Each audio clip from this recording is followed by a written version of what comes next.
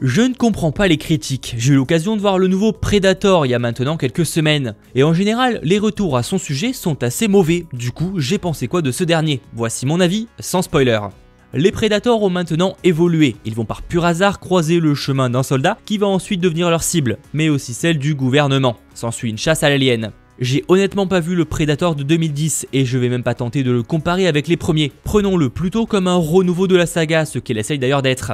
Au niveau de l'intrigue, c'est pas fou. On ressent pourtant hein, parfois l'intention d'instaurer de bonnes idées, avec par exemple la modification génétique. Mais cela reste au final très secondaire. D'un côté, est-ce ce que l'on recherche en allant voir un film Predator? Là-dessus, pas sûr. On va dire qu'elle n'a rien de bien original. Cependant, le rythme effréné évite les longueurs. On s'ennuie pas et bordel, bah c'est déjà top. Honnêtement, j'ai pas vu le temps passer.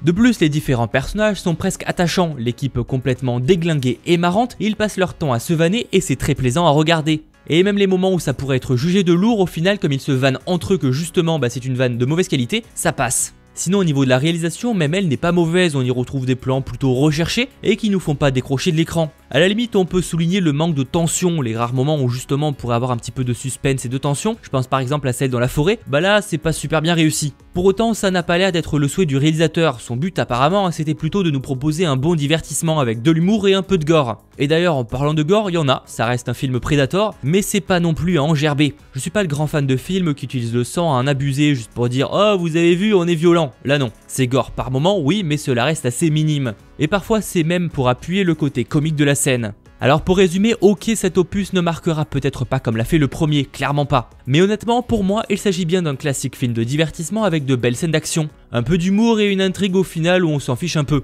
Évidemment, il y a aussi une fin un peu ridicule mais qui tease une potentielle suite. Suite que j'ai étonnamment envie de mater. Moi qui en rien, eh ben je regrette pas. Bref, à vos claviers, qu'en avez-vous pensé? C'était Mathéo, ciao tout le monde